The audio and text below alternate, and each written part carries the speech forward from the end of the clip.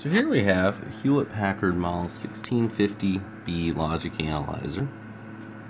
And on top of this is an Atari Mega ST that I uh, have hooked up to it.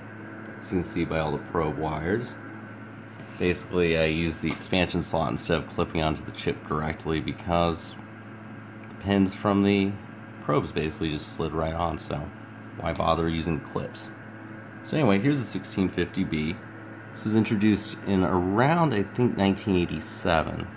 And uh, boots from a three and a half inch floppy, double density.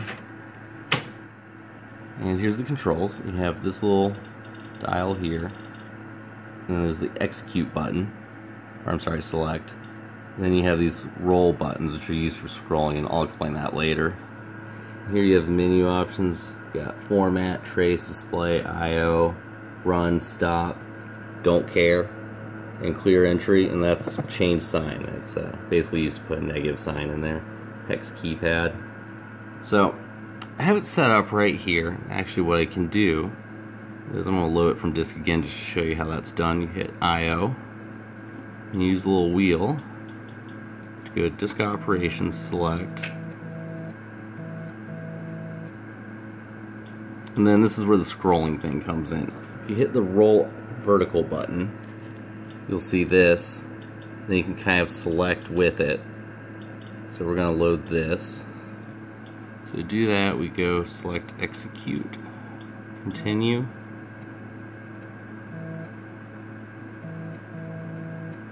Well, I meant to load it, so we're going to load, which is okay because I already loaded it recently and hadn't changed anything. Alright, and then we're going to go to format to get an idea of how this all works. So, see these activity lines, they indicate what's going on in these signals. What I did is I connected pod 1 to the data bus, pod 2 for the um, lower, how many bits was it?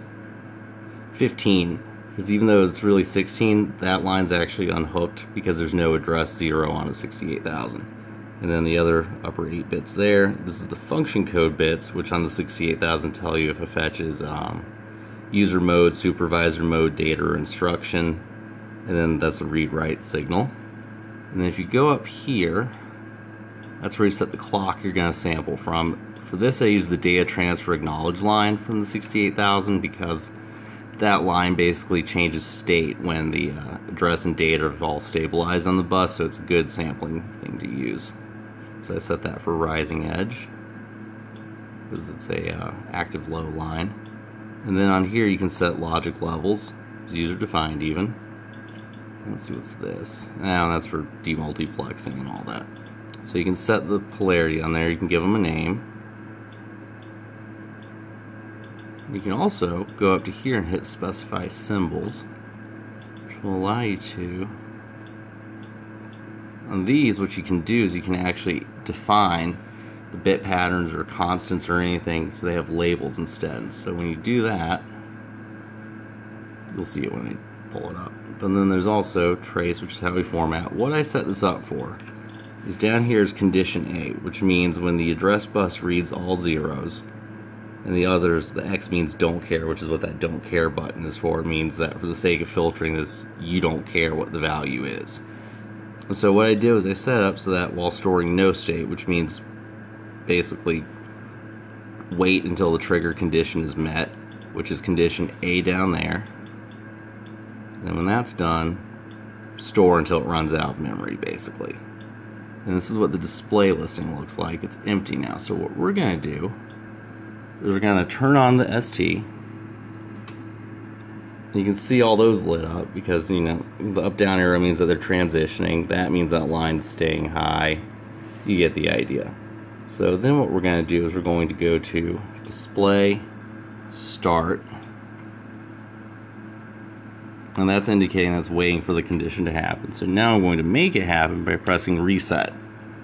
And there you go. As you can see, and 68,000 first starts, this address right here, and this one right after where it reads the reset vector. And so then it's FC0030, and then we jump to that. You can see as we go through what's instructions, what's data, how much of it is reading. You can see something got written there. So that's it for now with the uh, first part of this. This is the state and analysis mode. I'm going to do timing next. So enjoy.